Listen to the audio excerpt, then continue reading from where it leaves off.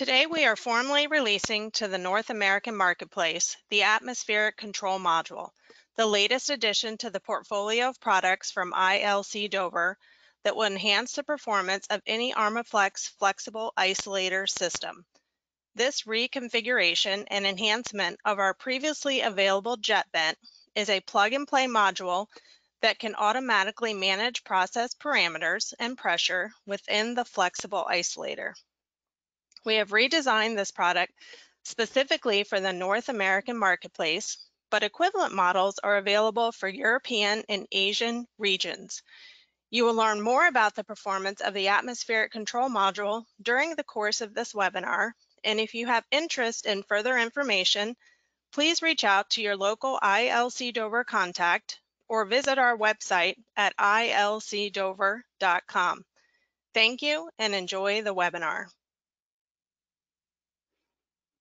Hey, good morning or good afternoon, depending from uh, where are you joining us. I would like to thank and uh, welcome all of you for participating in this uh, webinar organized by ILC Dover. ILC Dover is a worldwide leader in the design and manufacturing of engineered flexible protective solutions for critical applications from aerospace to pharmaceutical industries. My name is Paul and uh, it's a big pleasure for me to host today this session where we will be talking about uh, milling and micronizing pharmaceutical powders in high containment. The manufacturing of products containing micronized powders has been growing, especially for inhalation and, and injectable deliveries. Uh, and with particle size uh, ranging generally from 2 to 20 microns, this creates a huge challenge in terms of containing such smaller particles. Today, we will look close to the dry micronization which basically can be obtained using mechanical size reduction, for example, using conical or hammer mills, or by uh, using fluid energy impact uh, jet mills. Micronization is used from chemical synthesis up to uh, oral solid dosage plants. And this process requires a lot of energy and very, very often creates an overpressure inside the equipment. Adding to that, the fact that the industry is increasing the use of potent drugs, the result is a very high risk of exposure for the operational, operational sorry, people. During the, this webinar, we will be talking about how single-use containment technology can be used to easily upgrade existing processes, but how this technology became a standard and facilitator in brand new applications, saving costs, time, while making easier and fast the scale-up process. The speaker today will be Scott Patterson, Vice President of Pharma and Biopharma Technical Support. Scott has been with ILC Dover over 14 years and leading innovative advancements to the pharma and biopharma industries using single-use containment technology. We will have the pleasure to have with us David Howes, Product and New Business Development Manager. David has a very large background in powder handling and we will talk uh, how to mitigate the risk using the Armor atmospheric pressure control module. But before starting, I would like to inform if you may need to ask some questions, please type it on the box and click submit. At the end of the presentation, uh, we will take time to answer all, all uh, of your questions. So now, welcome Scott. Uh, talk talk uh, to us about this technology.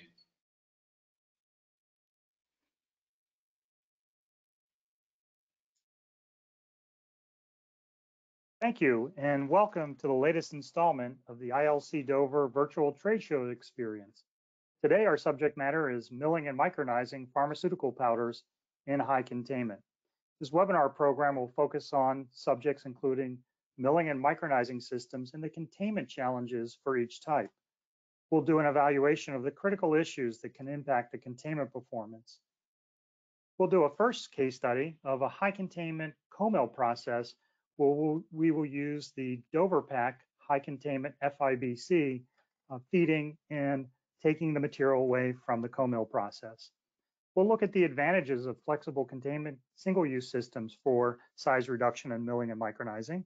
And then a second case study using the atmospheric control module, which creates a negative pressure in an isolator for milling and micronizing applications. And finally, containment performance, what really is achievable when using flexible containment. So here's our, our major issue when we get into containment challenges of size reduction systems. Uh, the first one is related to airflow. So we have different style of size reduction systems going from low energy oscillator type, conical mill type, and then getting into more high energy hammer mill, the Fitz mill type, pin mill, uh, jet mills and micronizers. So really the difference here is the low energy mills have a lower volume of air exchange during the process and then as we get to the Fitz mill, the pin mill, and the micronizers, we have quite a bit of air that we have to handle. And this is a challenge as we work in containment to be able to work with the process gas and then release the process gas while not contaminating the area or releasing particulates. And that also comes with the challenge of the particle size. When we're looking at the low energy mills, again, oscillators and conical mill types, we're dealing with more of a granular material and a larger particle cut.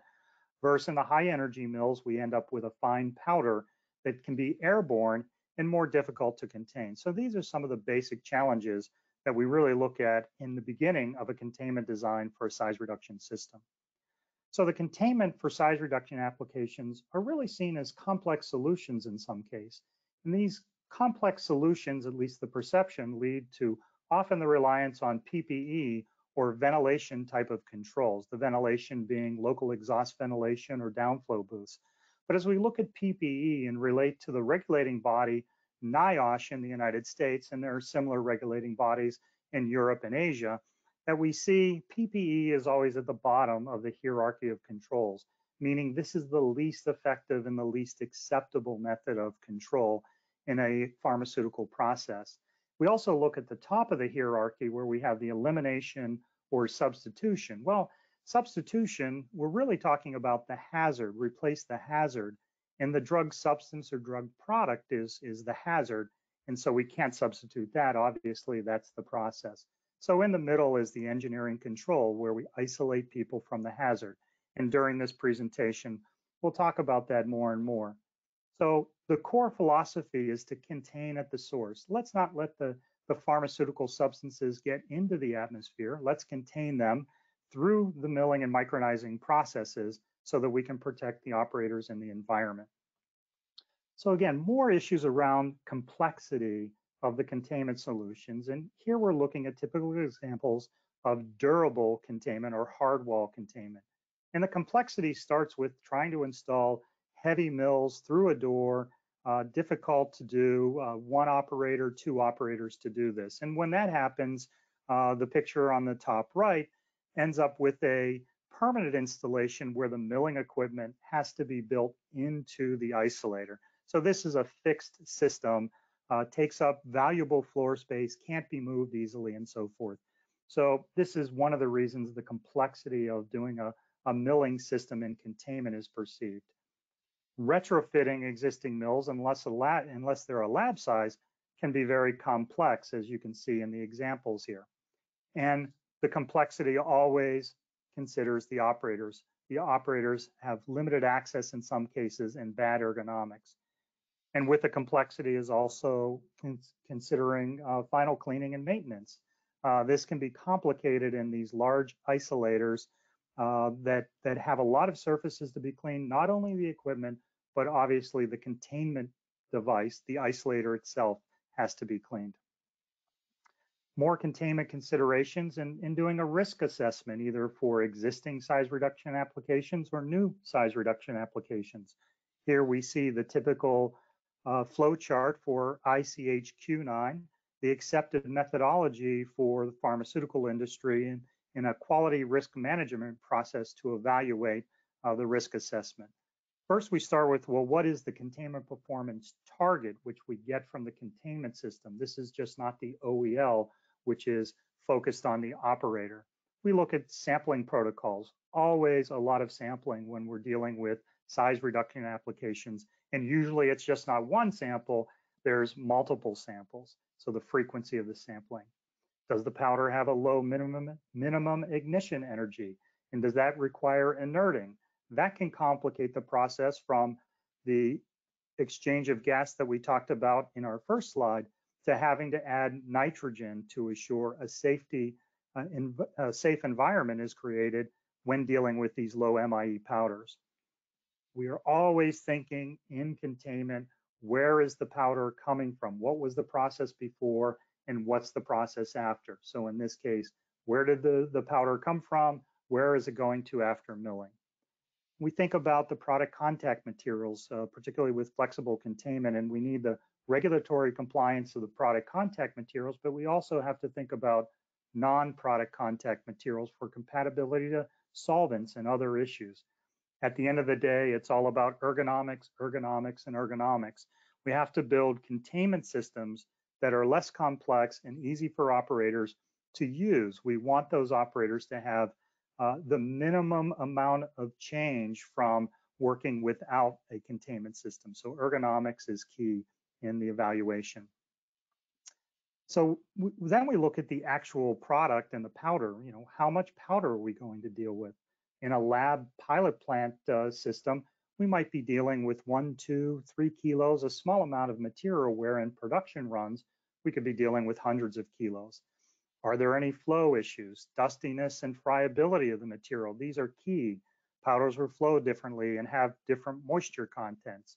Uh, this can change the containment design and, and need to intervene if there are flow issues and so forth. The equipment for size reduction, that was our first slide. And are we needing to do something where a low energy mill can do the job? Or do we need more of a high energy mill for more of a micronized or finer powder? And lastly, it's always considered to be in a containment system, how do we get the product in and how do we get the product out? So this could be delivered in drums, bins, big bags, so forth, and, and the same with takeaway. So we'll take a look at these transfers and how that can affect the overall containment, but also the cross-contamination potential. So looking at the aspect of the volume of powder, in development in pilot plant size mills, it's much easier to contain. Often these size mills can fit into an isolator or into the containment system because they're smaller. Uh, typically, they're manual fed, so the powder is transferred into the isolator and, and easily fed into the hopper.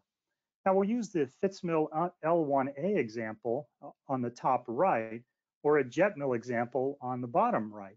So here we're putting the size reduction device inside the isolator.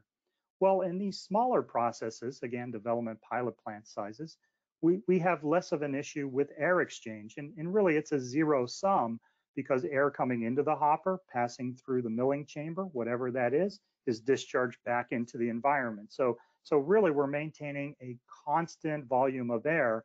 And so we're not having to deal with that, that real big air exchange that causes a lot of problems during size reduction. So that's the opposite when we're dealing with production size units. And here we're looking at more of a production size Fitzmill, uh, the D6 size or the D12 size that's commonly used in pharmaceutical size reduction. We're showing both the example on the left of containing the feed hopper and scooping powder from a drum into the hopper that goes through the mill. It's fairly straightforward, but again, we have to we have to be concerned about airflow because in the Fitzmill or any hammer mill type of process, you're going to have a fan type of uh, situation created by that rotor. And so it wants to suck in air. So here you can see on the isolator, we've added a high flow HEPA filter to allow air to come in. If we don't add that air, we can have a, an impact on the particle size distribution and we can have overheating of the process. So it's really key to understand that this mill wants to run in a typical process like it didn't have containment. But now we've let the air in, we have to get the air out. So you can see on the right, we've done the containment with a continuous liner on the discharge of the Fitzmill. We've added a high volume HEPA filter below the milling chamber to allow that air to escape. Now there's all kinds of executions we can look to do with this. And, and really when we're, we're dealing with high containment, uh, particularly on this discharge of this high flow HEPA filter, we really want to consider that that design should be a safe change filter so as we have to remove the filter, again, the operators in the environment are still protected. So more critical issues that impact containment performance and, and again, looking at the complexities. So the containment system can be retrofitted to the equipment with minimal or no hardware changes. So we see this idea of retrofitting uh, extremely important because uh, if, if we have a lot of hardware changes, this could lead to changes in SOPs. It could lead, in, uh, lead to changes in validation. Uh, the cost of revalidation is very expensive. So we're looking for ways to add flexible containment that's going to give us the protection that's needed without really impacting the system. So here we implement uh, a floor pan design and the floor pan, floor plan, excuse me, the floor pan, is essentially a cookie sheet with a, a, a raised edge on it. Same with a flange, which we add that to the existing equipment easily. And then we attach a five-sided flexible isolator uh, for the installation of containment. So here we've used both of the pan design and the flange design in this uh, jet mill micronizer type of operation. But a key we want to point out, which is going to be part of the subject in the next couple of slides, is the discharge of the powder. So here in the circle, we've shown the powder is being discharged through a continuous liner, also called an endless liner, into a fiber drum. So that fiber drum and the continuous liner are external from the containment zone.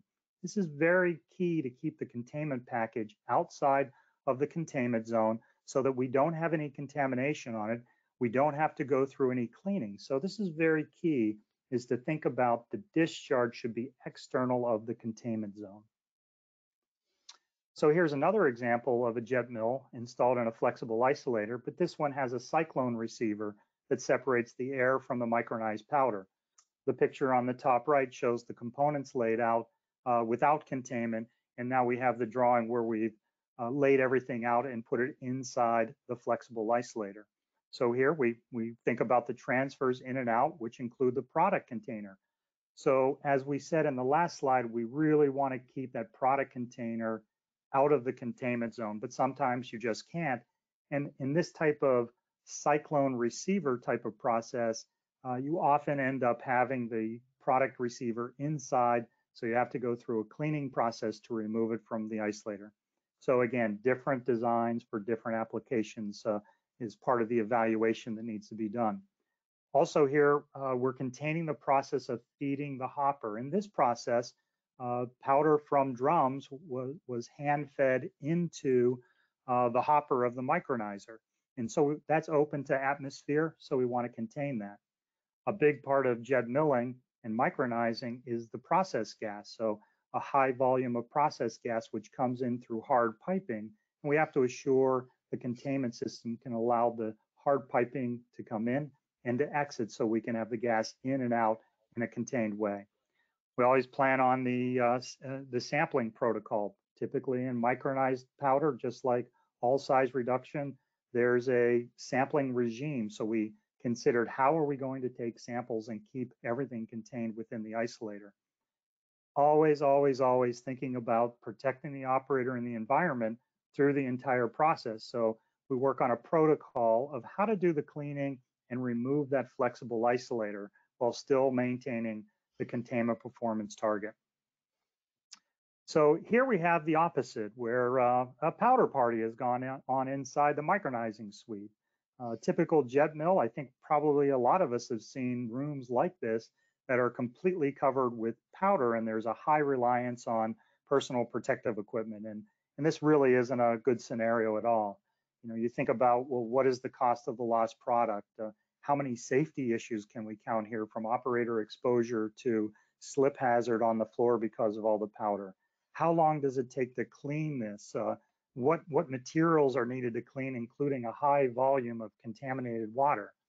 How many days will this suite be unusable while cleaning is done in validation? So it, it ends up being very costly to continue to uh, use a non-containment application here, thinking that it's too complex to contain. Well, we broke that down in the next slide here to show that you really have to take a modular approach to this and think about containing each portion, which has a little bit of a, dyna a different dynamic. So here, it's the same type of process with a baghouse filter uh, separating the air from the powder in this micronizer. So in position one, we have a passive flexible isolator to contain the mill. Position two, We have an inlet to get the powder in. In this case, we would attach a Dover pack. In position number three, we're simply just containing the baghouse filter with an isolator, but that isolator is filling with the process gas that's coming through the filter. And so in position four, we've have the connection that will go to a dust collector, a, a Donaldson Torit type of dust collector or Camfil Farr, but it's exhausting the gas away so that we're not building a positive pressure in the isolator that's containing the baghouse filter. In position five, we're taking the powder away. So we've got the final product here. We can take it away in an endless uh, or continuous liner. Uh, that can be a Dover pack, again, a split butterfly valve with a powder bag. But remember, here we have the opportunity that that, that packaging material is all external of the containment zone. So we don't have any risk of exposure, contamination, and so forth from that package being inside the containment zone. So our first case, case study is, is with a co-mill and using the Dover Pack technology. Uh, we referenced the Dover Pack technology a couple of times in the presentation. So here you see the Dover Pack feeding the co-mill top and receiving it from the bottom. This happens to be a U20 underdrive co-mill. Again, the underdrive co-mill is, uh, is, is, is very simple to, to do a containment like this. And it's simple because it's set up with tri-clamp connections top and bottom. And so we set up our O-ring canister system, which is the connection hardware for the Dover packs. And it's a system with the O-ring canister with some simple clamps and a seal separate system, uh, the crimp lock. So we'll see this, that it's easy to maintain containment and we can do up to 10 Dover pack connections while maintaining that high containment without any cleaning or any other activities that would have to go on in the line. So just a little bit about the Dover pack and containment and, and, and part of this case study and some of the benefits of this. So high containment, absolutely pro proven to be 250 uh, nanograms uh, or less, nanograms per cubic meter. And we have had applications where there needed to be a higher level of containment. So we have a coax model of the Dover pack that can go to less than 30 nanograms per cubic meter. A full range of sizes. We always connect with standard tri-clamps. It's a simple lift system to position the, uh, the Dover pack. We don't need anything complicated to lift and position and dock. Uh, the flexible wall of the Dover pack in any FIBC is very important when we're dealing with poor flowing powders that may have a tendency to bridge. Uh, the Dover pack is built with Armorflex film, which is very solvent resistant, and it's also anti-static. This is key in some of the processes, and this anti-static film will comply with ATEX for the European uh, requirements and also is rated for some of the models as a type C FIBC. Uh, beautiful thing with the Dover pack is it's designed with an inline sampling sleeve. So again, we talk about the sampling protocols and here we built that into the Dover pack and it's easy disposal after use uh, without exposure to the operators or to the environment. So on with our case study. So this was actually the uh, summary table for the Dover pack and the containment system on the co-mill. We followed the uh, SMEPAC protocol from ISPE and using the sing single point transfer system methodology. Uh, lactose uh, standard was used as a surrogate. Each iteration, so you can see we did three iterations, uh, used at least 25 kilograms of lactose. And the test was done each time docking a Dover pack on top and filling into another Dover pack on bottom. So we did those, those individual dock and separates for these three iterations. A key to understand here is the lactose used was not loaded with excipients. So this test was really a test of a drug substance containment with a 100% drug loading. So when we look at the results, we have very nice results. Um, the OBZ, the operator breathing zones, were were monitored first, and then we have area samplers. And in the OBZs, we can see that the assistant, in looking at the geom geometric mean analysis at the far right, was about 240 nanograms per cubic meter. That's pretty good containment. But as we look at this, this again is 100% drug loading, which is really not the case as we look at a lot of these oral solid dosage processes that use milling and micronizing applications. In a lot of cases, our drug loading could, could be 10%. In that case, the results of this test would have been closer to 24 nanograms per cubic meter. Cubic meter. So very interesting, very good results that we saw here. Now through this, we as we uh, created the test plan uh, for the co-mill, we also thought about an upset condition that might require us to open up the milling chamber and access the screen and or the impeller. So you can see the picture on the right is, uh, is actually a flexible isolator that was integrated into the containment system. So in the middle of a process, if we had to, if we had to access the, um, the milling chamber, we could do that in a highly contained way. We've also done this on other type of mills. So we're seeing a schematic here of the Frewitt MFH mill. Uh, so this has a, a, milling chamber that's a unibody with a door on the front to access the, uh, the rotor and the screen. And so we simply have a portable isolator that we roll up, dock, and we can, uh, we can access that area by opening that door in a high contained way. But back to the co-mill uh, case study, you can see the data set again here, somewhat similar to actually the Dover pack process that we saw in the last data set. And we see the operator, uh, the assistant operator, was at about 350 nanograms per cubic meter, remembering one more time that this was 100% drug loading. And so if it was 10% of uh, drug loading in this, that our actual containment would have been closer to 35 nanograms per cubic meter. So we look at advantages of flexible containment and we specifically look at that market segment of multiple product facilities, multi-product facilities, or contract manufacturing organizations. So what are the benefits? Low capex for retrofit and new installation, really a big financial benefit. We look at the fact that the single-use consumables are purchased only when needed for campaigns. So CMOs are all about campaigning and so forth. So they may only need consumables two or three times a year, sometimes maybe more. So you buy them as you need them proven high containment. So the co-mill case study that we just presented uh, is backed up by dozens and dozens of additional SMEPAC studies. So we, we know we have high containment solutions for the range of milling uh, processes that are out there. It really, one of the great benefits for multi-product facilities is the reduced cleaning for faster campaigns. If we can clean up much faster, we're ready for the next campaign so much faster which also reduce cleaning for faster campaigns goes to reduce risk of cross-contamination. The ISPE risk map document tells us that the number one reason for cross-contamination in the pharmaceutical industry is a mix-up of having the wrong powders come into a process. But after that, the number one, uh, the number two reason is retention on surfaces that go from one batch to another batch. So if we can reduce the amount of uh, surfaces that need to be cleaned, i.e. the containment system is disposable and doesn't need to be cleaned, we reduce the risk of retention and cross-contamination.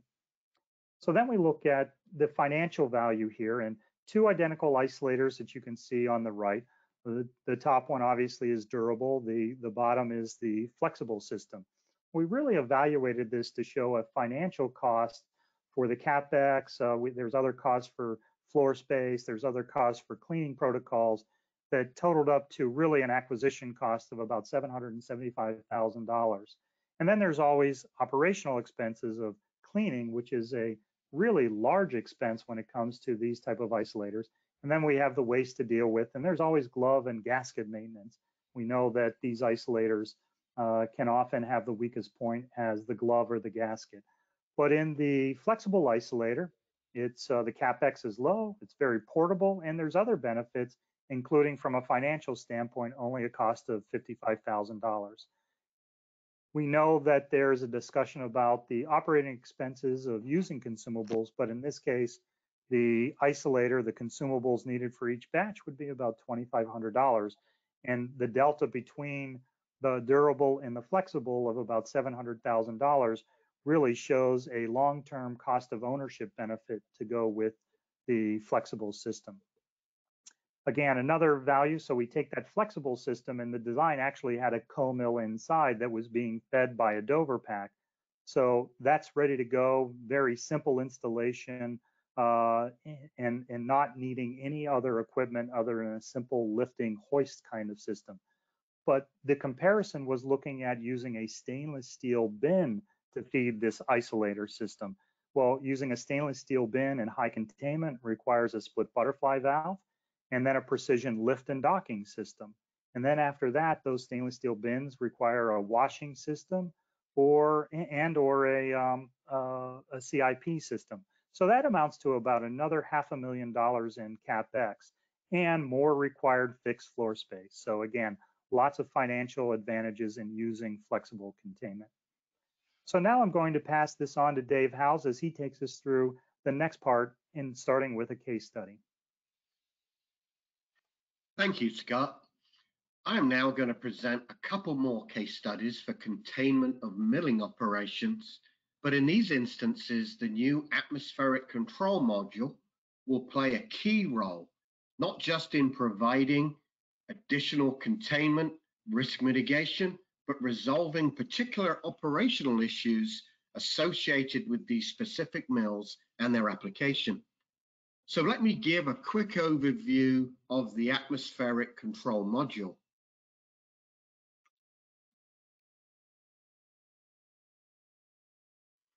The atmospheric control module being formally launched today in a reconfigured, upgraded form of an established and successful product enhances the performance of any ILC Dover containment solution.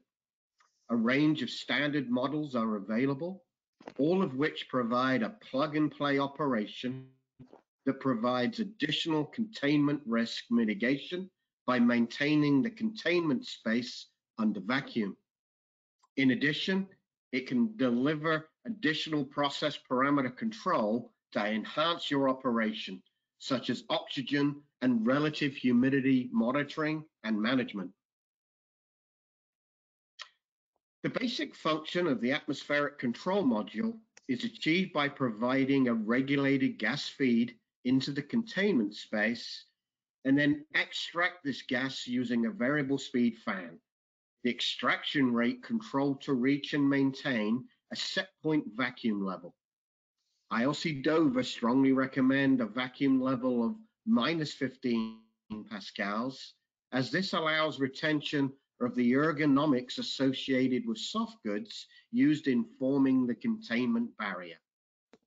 Control is provided by an onboard PLC with an HMI provided for operator oversight and functional management.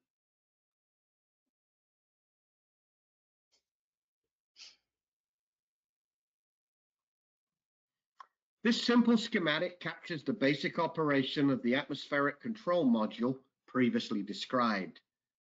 Note the three connections between the atmospheric control module and the containment space, those being the gas feed, gas extraction, and differential pressure sensor.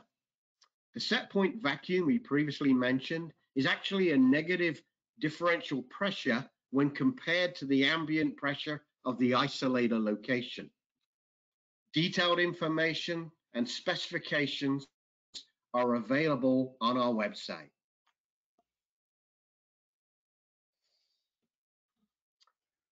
Our first atmospheric control module empowered case study is a jet mill. This is widely used mill type available from multiple manufacturers, but offers some particular challenges with respect to containment. This cutaway schematic offers a good summary of the design and operational principle of the jet mill. The airflow, airflow through this mill type is critical to its performance. The schematic here has been highlighted to show the air inlet points the powder inlet or feed point, and powder outlet or discharge point. It is the containment of both the powder feed and discharge points that must be designed for in any isolator system. But these two particular points provide differing challenges that the atmospheric control module can act to overcome. This 3D model is an example of an ILC Dover flexible isolator solution for a jet mill. It has two distinct sections adapted to fit the specific mill design. Containing the powder feed and discharge points highlighted here.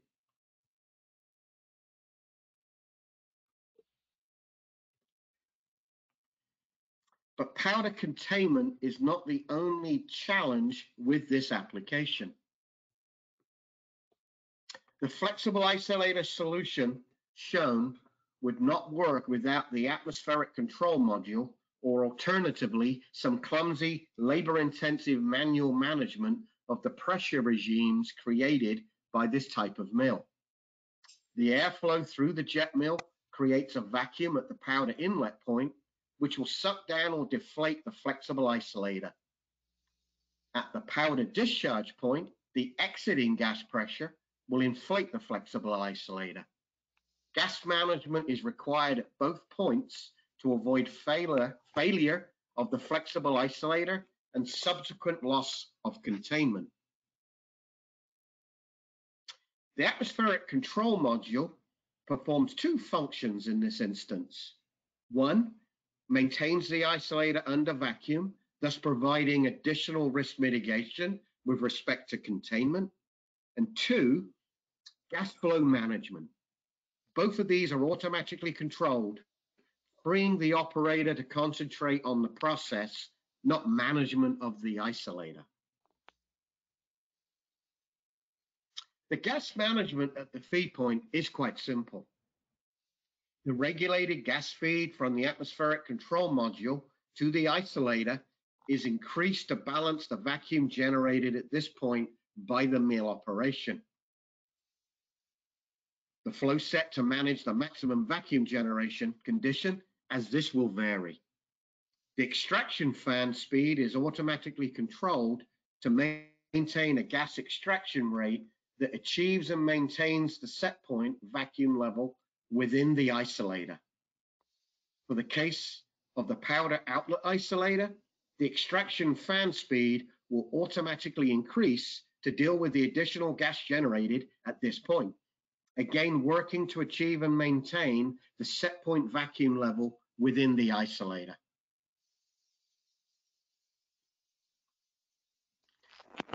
Our second case study is a pack-off system. What do we mean by pack-off? This is any system whereby powder is discharged from a dryer and charged directly into packaging of some form. For this example, drums. However, the powder requires milling in line before the drums, and the drums need to be filled to a precise weight, typically less than 1% in accuracy. And this whole operation must be performed with high containment. ILC Dover has a unique solution for this application, one needing the atmospheric control module to work. This simple schematic captures the system for our example. Dryer feeding mill, feeding drum. I'm sure many people listening to this webinar have this system in some form. Highlighted is the containment challenge, that of both the meal inlet and outlet, and charging of powder to multiple containers. And the multiple typically makes it harder, although not for ILC Dover.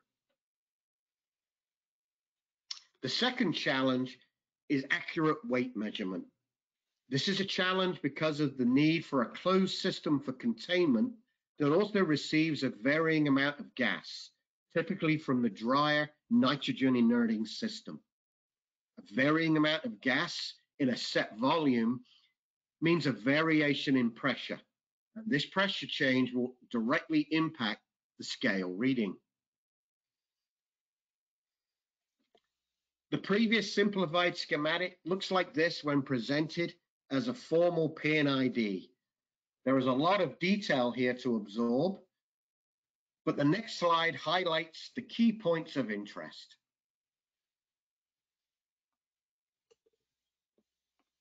The rotary valve, fundamentally key to a dosing system. The mill, in this example, a cone mill, installed in line but designed to be accessed for routine maintenance activities. The weight scale, the bottommost part of the system, but as mentioned previously, its performance is critical to achieving accurate dosing in the packaging receiving the powder. And here is how the P&ID converts into a physical layout as shown by this 3D model.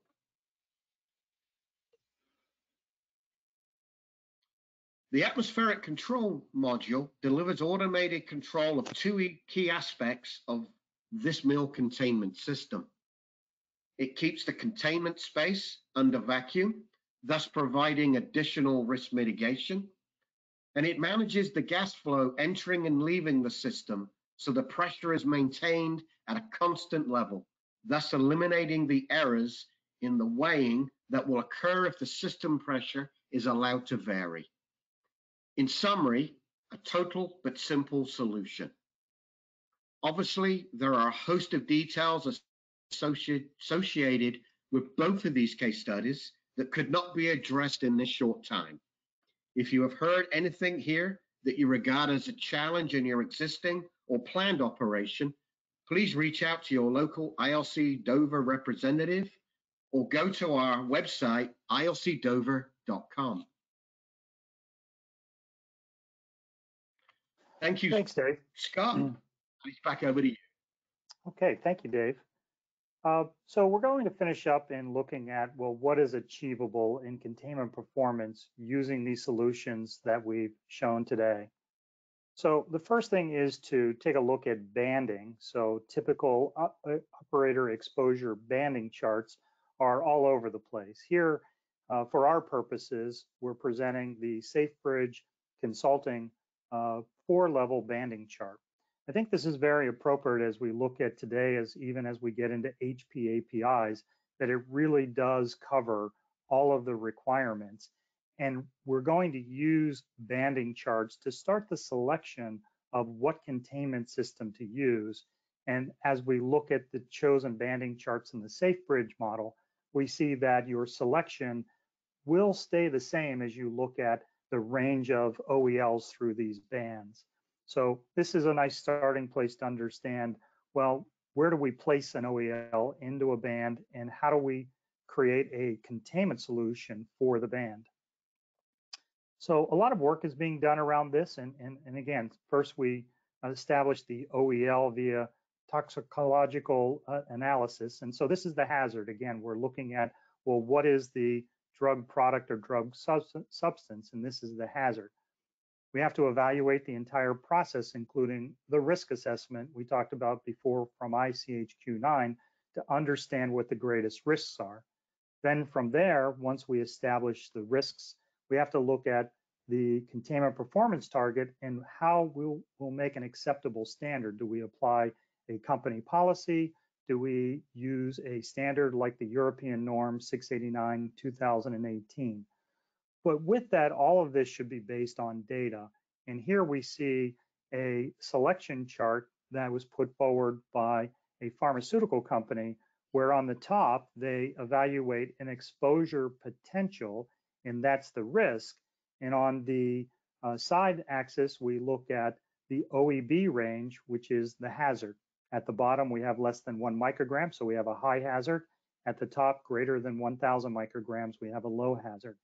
And through data, and here we see tested with one uh, with 4,000 use scenarios, they've created this matrix where you can select uh, through the exposure potential and the OEB where the risk and the hazard stands and classify it.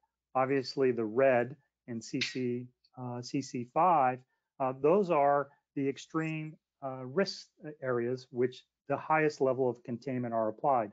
So these are becoming more and more common for different companies to create these analysis so that we can apply a containment standard based on the risk and the hazard. But there, there really are no general guidelines when we're looking at the different milling and micronizing processes.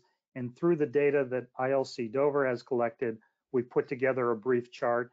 And it's a, a, a several different scenarios. There's more scenarios than this, but again, what we look at and we stress is not just what is the containment performance, but what is going to be the acceptable pass fail. So in a lot of occasions, uh, major pharmaceutical companies will have a 50% pass fail, meaning if their target is 100 nanograms per cubic meter, during the SMEPAC test, the pass fail is going to be less than 50 nanograms per cubic meter. There's also then the more stricter EN 689 2018 test that says in a small sampling set, typical of a SMEPAC uh, containment assessment, that we we're only we're only allowed to be at 10% of the containment target. So the 100 nanogram per cubic meter turns into 10 nanograms per cubic meter for a pass fail. As we can see, adding the ACM, as Dave's described, to a flexible isolator design will improve the performance and will improve any condition that happens during breach. So we're always looking at high containment and evaluating if a negative pressure system is the right place to design to. So with the SMEPAC test, there's also operator training. Uh, it is always recommended in implementation of a containment system to do a containment assessment uh, to get the data for what the performance will be. All containment systems, whether they be durable or flexible, do require proper operator training. Uh, this is key to the to the actual performance, and we've seen uh, compelling data where operators that have had a significant amount of training actually get a much better or lower uh, level of containment from the containment system. Operators who haphazardly perform the tasks often end up with exposure issues and so forth. So here uh, we, we, we put an, uh, an emphasis on operator training with the idea that GMP guidelines clearly state a requirement in HPAPI that operators should be trained when handling these potent drug products. So in summary, uh, we've, we've evaluated the containment for some size reduction applications can be complex, but there never should be a reliance on PPE. There should be an engineering control. There are a multitude of mills and sizes of uh, size reduction systems, so the right containment system should be selected for the specific process. Flexible containment systems provide a range of technical and financial advantages to the process. In Dave's presentation, we learned about the atmospheric control module and will provide improved containment performance and risk mitigation in a breach condition. And lastly, flexible containment can be applied to milling and micronizing processes to achieve the same performance as durable systems, but we always seek data to confirm per performance. Data is the key to all of it. So we thank you very much for your participation and we'll go to any questions that we have. Well, many thanks, Scott and David, for, for the presentation. We, we, are, we have some time now for some questions. The first one uh, is about, do we have a proven containment for jet milling? Scott? I'm, I'm sorry, Paulo, uh, could you repeat the question? Yeah, the first question is, do you have proven containment for jet milling? Oh, yes. Uh, so uh, again, referring to data, uh, there have been several uh, containment assessments done for uh, jet milling processes. And, and again, the data uh, tells us that you know, we're in the nanogram level of containment. But referring to that, different processes, when we, when we speak about jet milling, we have data on uh, lab size and development size processes as well as full production size processes. Uh, but it's clear that jet milling can be contained uh, throughout the process and, and, and, most likely always under uh, 100 nanograms per cubic meter. Thank you. The second one is about uh, uh, how can we sample um, the, the, the, process if we need to collect a sample.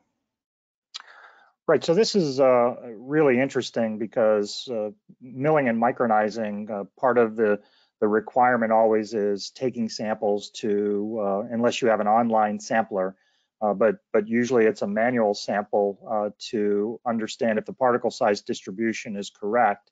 If not, then adjustments to the process need to be made in terms of a rotor speed or the feed rate or something like that. So sampling is is a key, but it, it always depends on well, what is the type of size reduction equipment? Uh, taking a sample on a micronizer uh, can be a little bit complicated. Uh, obviously, the sample is taken at the uh, discharge from whatever is being used to separate the powder from the air, um, a cyclone separation system or a baghouse filter and so forth.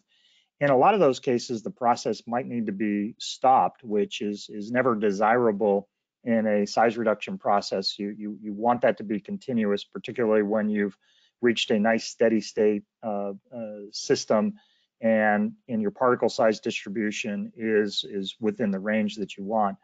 So there are manual ways to do it, and then there's automatic ways to take those samplers. Uh, but but the whole thing is again looking at it and doing it in containment. Um, so so we look at let's say um, a, a, micronizer where we we might have a continuous liner at the discharge. Well, we can just make a small uh, bag, if you will, the the sausage bag that that that occurs when you use the continuous liner. So we could take a small sample of, of a couple of hundred grams at the discharge. And so that could be an effective way. Sampling is, is, is a complicated process to assure containment, but it really uh, is should be part of the design of the containment system to assure that uh, containment is not broken when the sample is, is taken. Thank you. So the next question is about uh, rated areas in Europe ATEX um, can uh, flexible containment be installed in, in ATEX or rated areas? And I would ask that first to Scott and pass to David to talk about the ACM later. Right, so uh, yes, uh, flexible containment can be installed in ATEX rated areas. And, and the first key is uh, there is part of the, uh, in, in, terms of what the, um, what rating of, of the ATEX areas, but there there is a requirement that uh, there's a, a, a, maximum amount of non-anti-static material. So, and I believe that's 100 centimeters squared uh, in in the ATEX zone. Uh, the materials that ILC Dover uses, uh, specifically the Armorflex film, is an anti-static material that meets that ATEX requirement. So the first part is uh, in an ATEX zone that, that we're using a material that meets that rating and is allowed to be used in, in the ATEX zone. Um, but it also then goes back to, again, what the zone is and what the risk is, and this is where the risk assessment comes in. So in combination with the um, uh, anti-static Armorflex, oftentimes we may need to go uh, to a process where we're going to introduce nitrogen, and, and maybe Dave will, will expand on that a little bit. Yes, Scott, thanks. The uh, regarding the ACM, the unit itself, uh, it isn't designed to be electrically rated. Um, however, it can be installed up to 100 feet, or 30 meters from the isolator. And in that situation, we will provide uh, an electrically upgraded panel uh, that can be mounted local to the isolator itself. One key feature of the ACM, it does provide atmospheric monitoring, uh, including oxygen monitoring. So if you wish to operate a process within your isolator where oxygen level needs to be reduced, we can both measure and control that um, automatically using the ACM. Thanks. So next question um, asks about the, how to handle the, the pressure. Um, uh, basically, any visibility issues when uh, the powder inside discharges or uh, blowbacks from the jet mill. Um, I imagine when we have a, a jet mill uh, clogging, we can have an overpressure inside the isolator. How can we handle that, David? And I would extend the question to the um, uh, when on the pack-off station where when we are uh, discharging powders from a dryer, how can we handle the, the pressure we can have inside this, this dryer?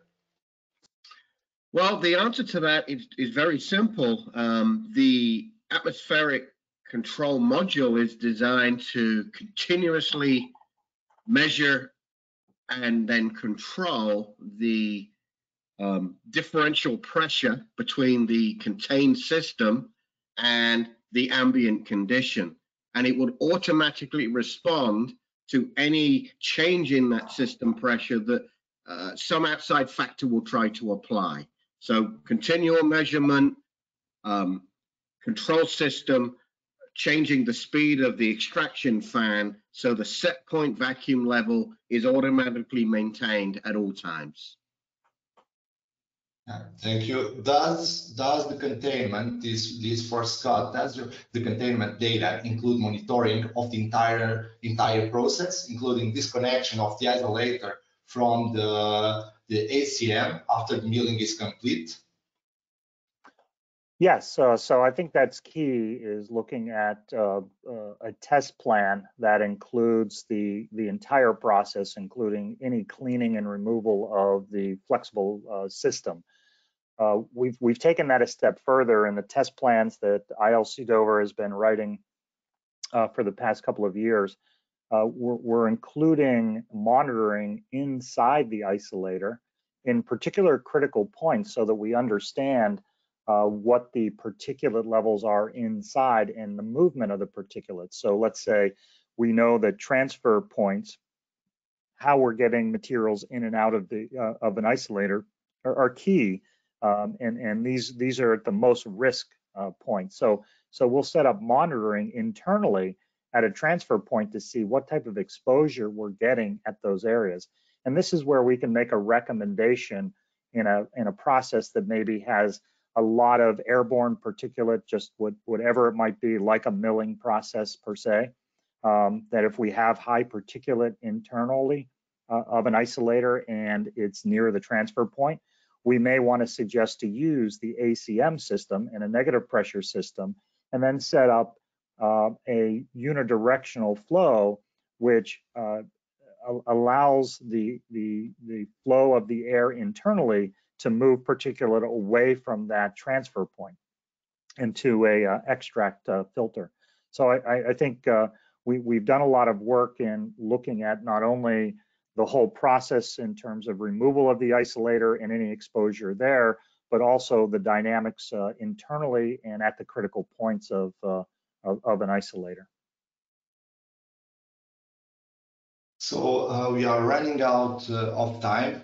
Uh, we, we, still have several uh, questions to answer. We will be glad to, to send you a written answer by email uh, or contacting directly you later on. Uh, I would like to, to uh, thank you, all of you, for, for all these uh, questions. And um, today we have, we, have, we have seen that containing this process is much more than just put an enclosure around a mill and we have several big challenges around this type of equipment. For example, how to charge or offload powders, how to sample, how to disassemble the equipment for maintenance, or even how to deal with uh, the overpressure which can be created inside the, the process by the by the milling process, resulting in, in a containment breach.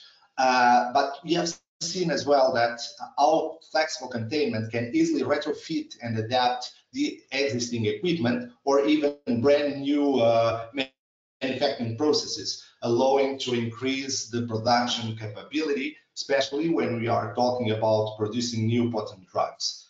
Uh, this technology helps on new applications to eliminate or reduce the use of utilities and dramatically reduce the risk of cross-contamination, translating in a direct protection of the, the patients.